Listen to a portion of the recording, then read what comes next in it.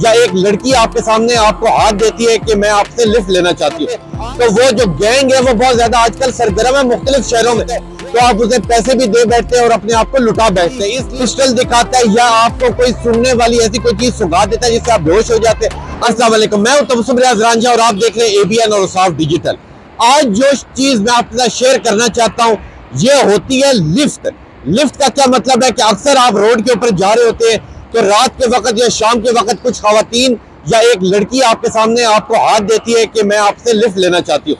आप उसे हमदर्दी के ऊपर लिफ्ट दे देते अब उसका नुकसान क्या होता है? जब आप उसे लिफ्ट देते आप थोड़ा सा आगे जाते तो वो जो गैंग है, वो बहुत ज़्यादा आजकल सरगर्म है मुख्तलिफ़ शहरों में। वो आगे से आगे आके आपको कैप्चर करता है और कहता है कि आप हमारी लड़की को कहाँ लेके जा रहे हैं? हम आपकी कंप्लेंट करेंगे।